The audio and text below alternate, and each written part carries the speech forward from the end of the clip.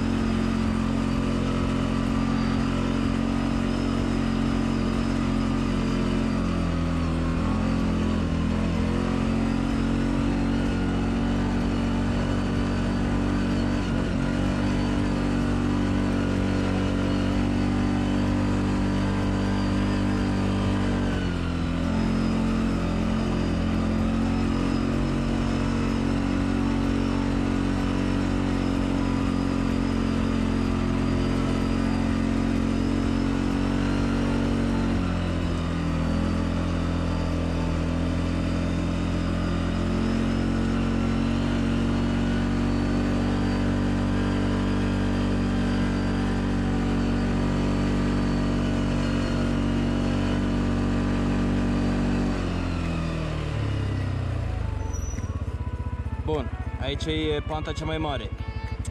O să cuplești diferențialul pe spate. Pentru că, țin minte data trecută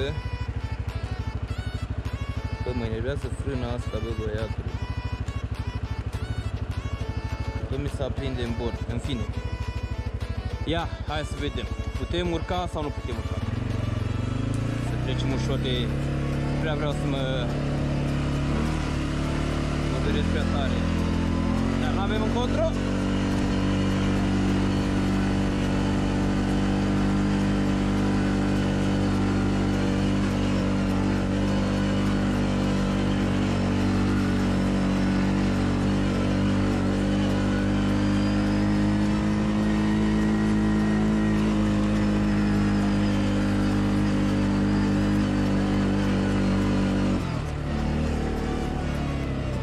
Fără nicio problemă Bă, dar ce-am fugărit o moară măsa Ce jare am dat.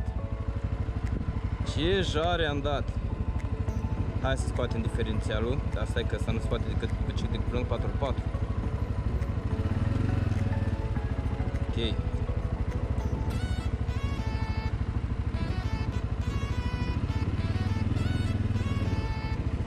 Dăm, lăsăm pe low că mai avem ceva de urcat.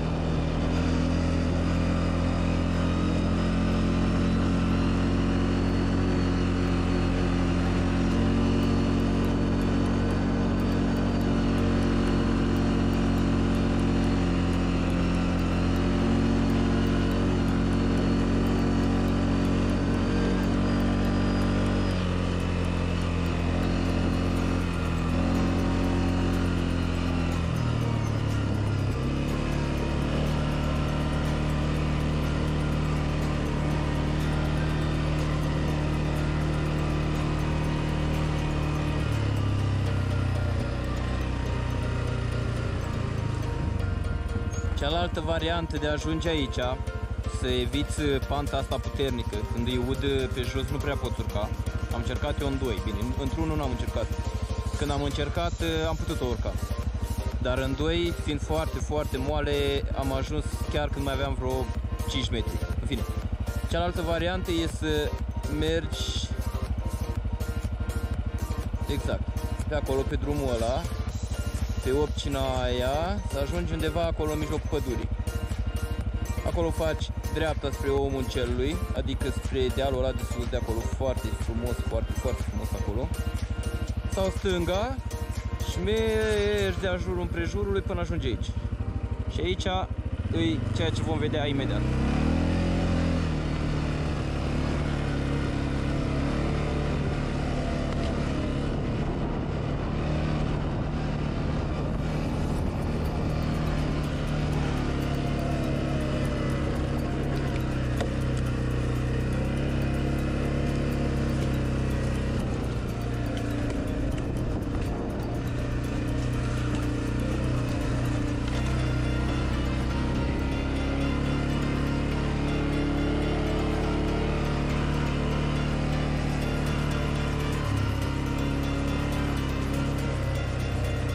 Ce să fie oare? Ce să fie oare?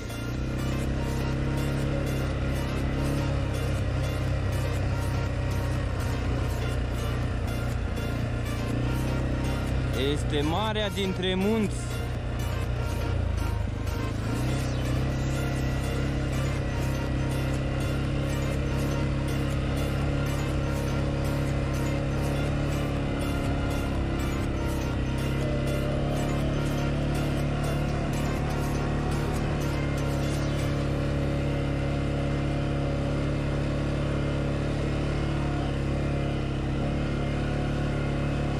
Observ eu.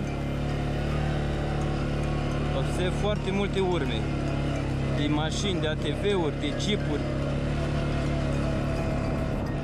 Și locul ăsta este preferat de toți care cunosc zona. Imposibil să nu tragă și aici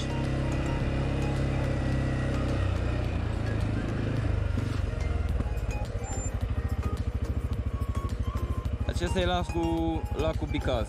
Lacul izvorul muntelui, barajul Bicaz, cum vreți să-i spuneți.